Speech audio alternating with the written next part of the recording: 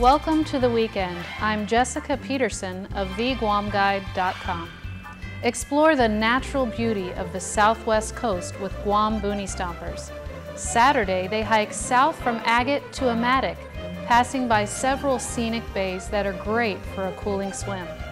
Visit the Guam Guide for a video of the hikes.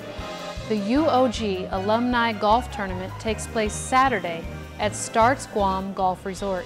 Get details on the Guam Guide. This is a special month for stargazing.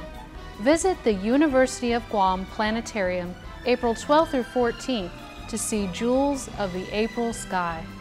Pam Eastlick, resident star lady, explores eight of the 10 brightest stars, the three most famous constellations, and the largest and smallest constellations all at the same time.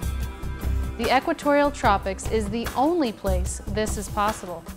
Don't miss April's show, it's absolutely astounding. Friday Nights at the Park continues tonight with Kung Fu Panda 2.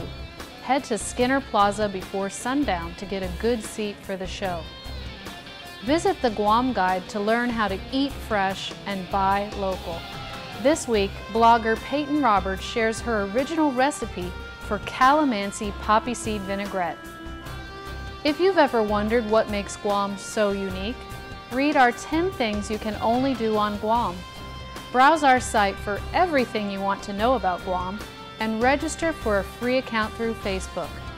Sign up for our weekly newsletter to have these events delivered to your email inbox. Enjoy the weekend. I'm Jessica Peterson.